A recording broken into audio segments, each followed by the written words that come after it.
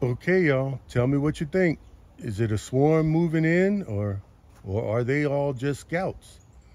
It's almost 5 p.m.